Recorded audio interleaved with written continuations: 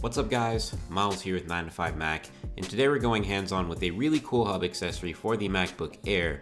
This is the Invisible Hub from DGRule, and it's a really sleek docking station designed specifically for use with the new MacBook Airs that give you a bunch of ports in a very premium and compact package.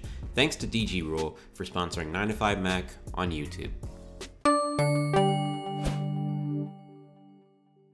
So, for starters, this is the world's first invisible USB-C hub for MacBook Air, and this is something that's very beneficial for those of you who have a limited amount of desk space or want to maintain the same amount of desk space while adding extra functionality to your MacBook Air. It's compatible with every Thunderbolt 3 version of the 13-inch MacBook Air models.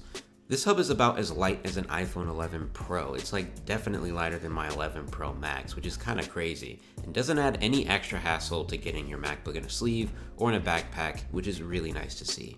It's also got a built-in cooling pad to keep your device nice and cool while using this with other accessories plugged in.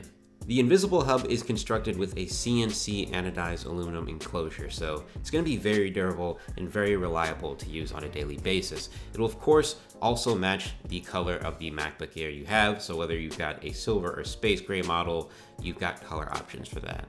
When taking a look at the port selection here, you've got a bunch of ports to play with. You firstly got a Thunderbolt 3 port, an HDMI port, a mini display port, three USB Type-A 3.1 Gen 1 ports, a full-sized and micro SD card slots, a 3.5 millimeter headphone jack, and a Type-C 3.1 Gen 1 port with power delivery support up to 100 watts.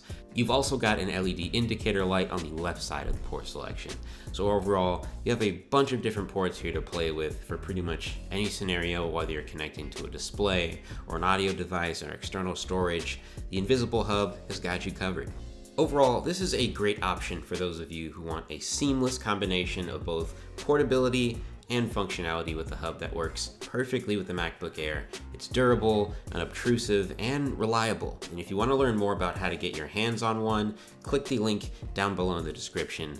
But that'll pretty much do it for this video. Once again, special thanks to DGRule for sponsoring 9to5Mac on YouTube.